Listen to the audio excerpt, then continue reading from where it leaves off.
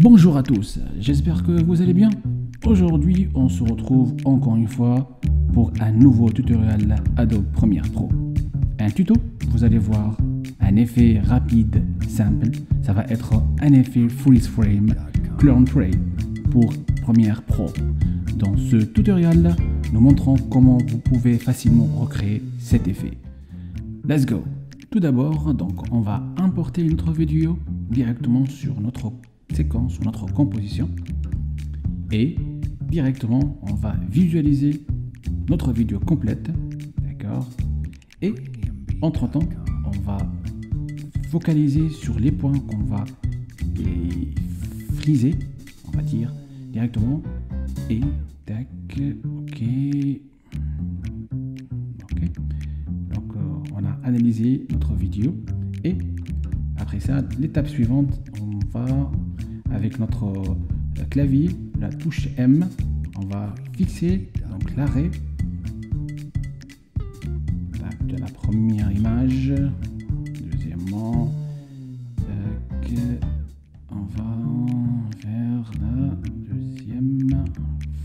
Voilà, j'espère que celle-là.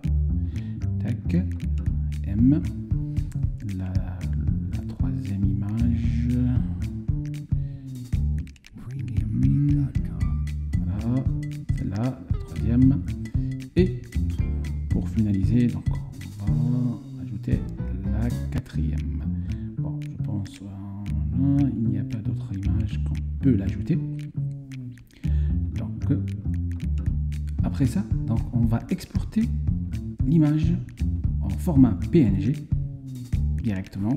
On va choisir directement où on va sélectionner notre dossier et on va créer un autre dossier sur euh, de ces images et on va les ajouter, on va sélectionner notre dossier et on va l'exporter directement. Donc c'est notre première image.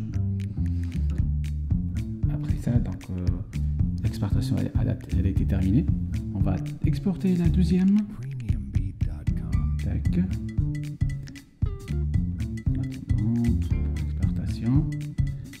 La troisième. Et la quatrième. Donc on est en train de exporter les quatre images et on va après on va les modifier avec la méthodologie, on va dire la méthode Photoshop. Donc on va les sélectionner après. D'accord Au niveau de ces on est en train de voir les quatre séquences ou les quatre images figées. Donc on va les exporter directement sur notre composition va sélectionner notre premier point. On va ajouter notre séquence. On va directement limiter. La deuxième, même méthode, mais au niveau de la deuxième arrêt. Tac. Voilà. Troisième. Tac. Là. Et la quatrième. Tac.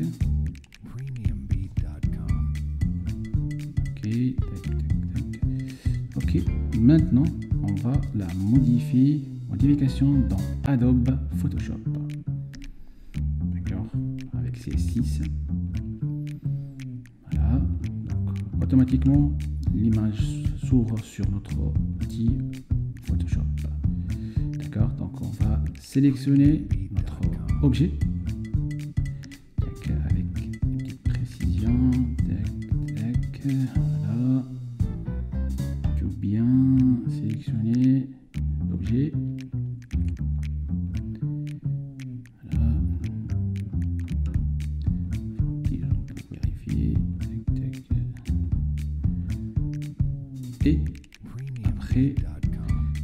faut bien préciser, améliorer le contour. Euh, directement. Hmm. Donc on est en train de bien améliorer notre, notre image et le contour.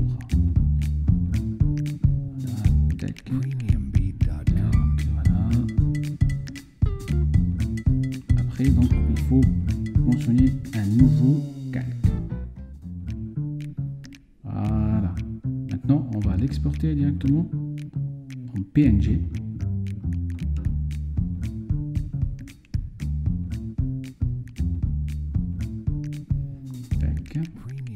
directement, on va l'ajouter sur notre composition.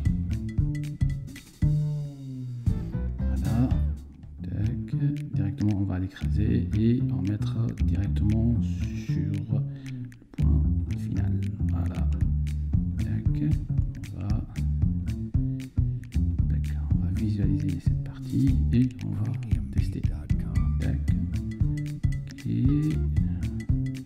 Voilà. Donc enfin, donc elle va disparaître quand l'objet va être terminé directement. Et on fera donc de même sur tous les, on va dire sur les quatre photos. Je vais donc faire rapidement donc euh, les séquences rapidement et on revient après sur notre composition finale.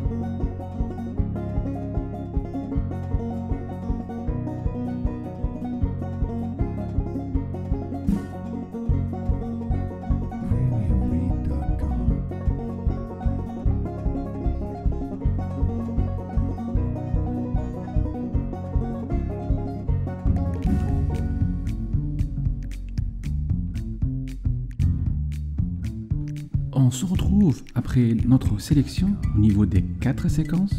D'accord Donc, euh, on a fait ensemble avec Photoshop au niveau de l'outil, donc euh, sélection rapide, et on a fait amélioration du contour avec les quatre images, et on a importé les quatre images.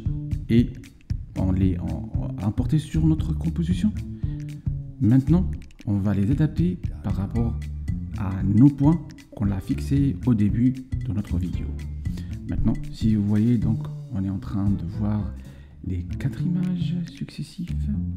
Voilà, et c'est top. Vous voyez, donc maintenant, on a un rendu de, l'effet de freeze. D'accord À un moment donné, il y a des personnes qui veulent faire l'inverse. C'est quoi l'inverse? C'est-à-dire euh, l'objet il va traverser, il va laisser le freeze après. D'accord? Donc, c'est simple. On va inverser. On va, si, vous remarquez, donc on a fait la séquence au début jusqu'à le point qu'on a fixé. Après, il faut faire au niveau du début du, point et jusqu'à la fin de notre séquence. C'est simple. Donc, vous voyez au niveau de la première euh, image, la deuxième, la troisième, voilà.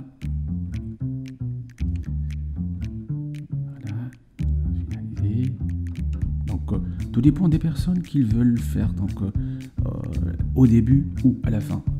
Voilà. Voilà, tac. Donc, et donc on verra donc. Voilà, il va laisser freeze.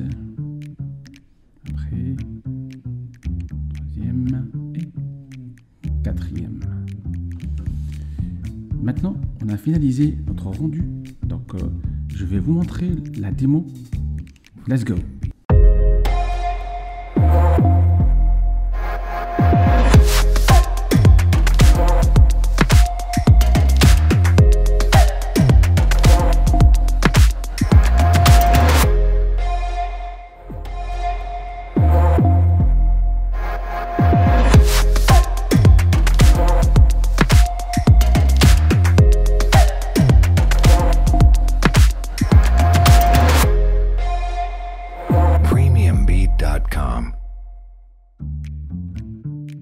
On se retrouve encore une fois après notre rendu.